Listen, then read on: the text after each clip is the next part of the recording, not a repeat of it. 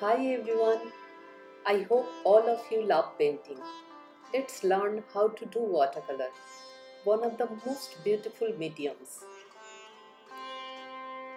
Today we are going to discuss two basic applications of watercolor painting. One is called wet on wet, another is wet on dry.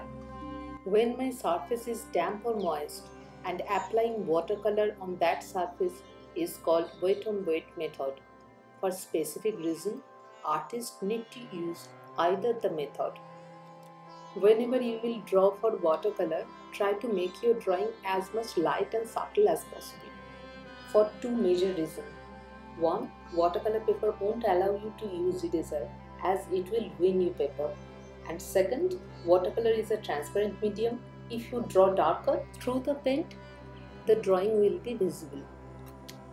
As you all know for drawing, we need to follow linear perspective. But in color application, also we have to follow some perspective, which is called atmospheric perspective. The elements of painting which are closer to us will be much brighter and clearer, and elements those are far from us will be dull and with comparatively lesser detail. This is called atmospheric perspective. Now here we need to learn how we are going to apply these two methods to successfully capture atmospheric perspective. So let's learn together. When we apply wet on wet, it gives us completely softer and blended edges. But to handle this wet on wet, beginners need to be very careful. The amount of water your brush carrying with color is crucial as excess water may create cracked edges on your painting. It means on your moist paper, when you apply the color mixture, your brush should hold less water than the paper. This approach is applicable to render elements those are far or in distance because whatever elements are far has less sharpness and less details as you can see here in this painting. Now wet on dry. This applicable to dry surface and it gives us sharp and defined edges. So elements that are near and has got sharp and distinct appearance need this technique. Especially in direct sunlight, elements should be rendered with this method. Also in direct sunlight, shadows are crisp and defined and need detailed approach. Here a small tip. In direct sunlight, shadows always carry a blue tone because the clear blue sky reflects on the surface and illuminates blue tone. To understand this, check my other video with sunlight and shadows. The link is here on the upper right hand corner.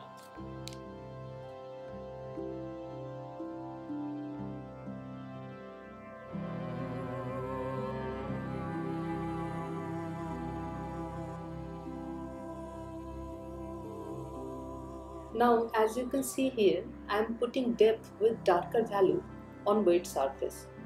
But you see, my color density is thicker than the bottom color. So this is very important and consciously you need to handle this. So watch this painting to understand these techniques.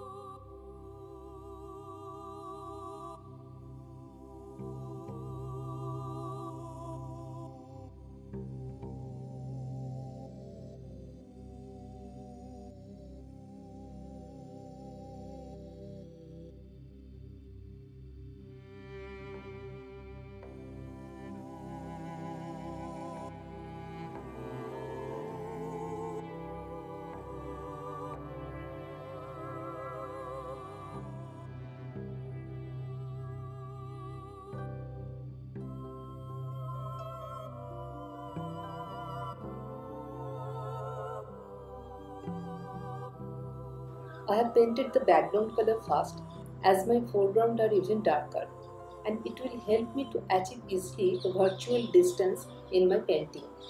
See the background bushes and on the foreground the bamboo thicket both are green but in different tone and saturation.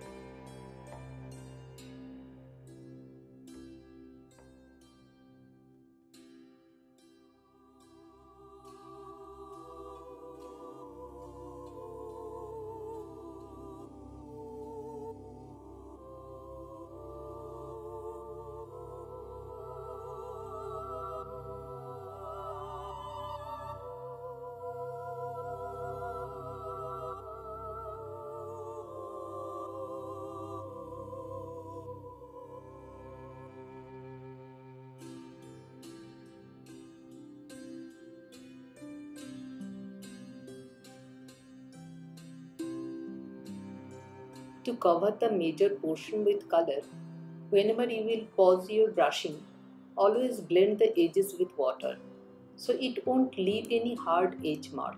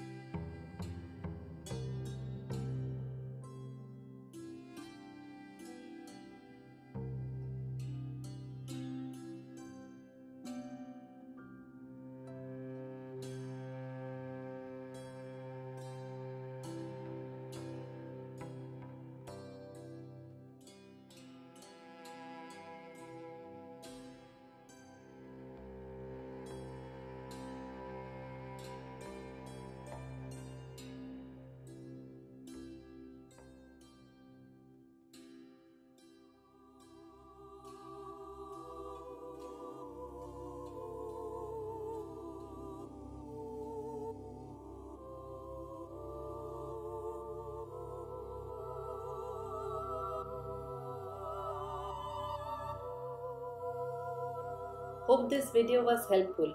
If you like my video, please subscribe and share with your friends. They might like it too. And don't forget to hit the bell icon so you will be the first one to know whenever I post any new video.